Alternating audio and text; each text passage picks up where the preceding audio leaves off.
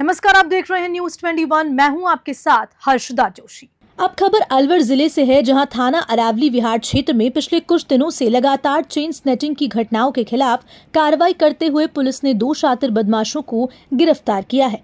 Police ने बदमाशों के खिलाफ विभिन्न धाराओं में मामला दर्ज कर उन्हें न्यायिक हिरासत में भेज दिया।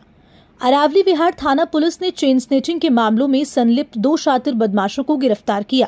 थाना अधिकारी गुरुदत्त सैनी के अनुसार पकड़े गए आरोपी वृद्ध महिलाओं को अपना निशाना बनाते थे। पुलिस ने आरोपियों के पास से तीन चेन और वारदात में उपयोग की गई स्कूटी भी बरामद की है। गिरफ़्तार किए गए आरोपियों में से एक आरोपी हिंडौन सदर थाने का हिस्ट्री शीटर भी है। आरोपियों के अन्य अपराधों की जानकारी प्राप्त करने के लिए भी पुलिस द्वारा जाँच लगातार की जा रही है। अलवर से ब्यूरो रिपोर्ट।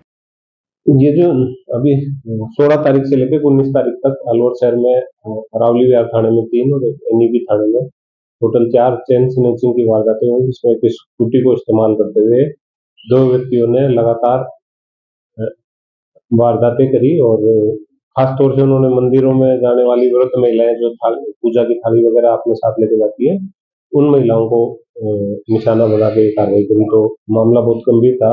अधिकारियों के आदेशानुसार बीएसटी टीम और एनयूबी थाने की टीम बीएसटी प्रभारी और करानी की टीम ने संयुक्त कार्रवाई करते हुए दो मुलजिमों को गिरफ़्तार किया है, जिन्होंने एक स्कूटी, जिनमें से एक जो यहाँ अलवर में रह रहा है, उसने कोतवाड़ी इलाके से स्कूटी चुराई और उसके फर्जी नंबर प्लेट लगाई और एक उसका जो दोस्त था वो करौली से आया और फिर मिलकर दोनों ने लगातार चार दिन चार बार करी अभी दोनों को गिरफ़्तार करके तीन चैन बरामद की गई है चोरी में इस्तेमाल की गई स्कूटी बरामद की।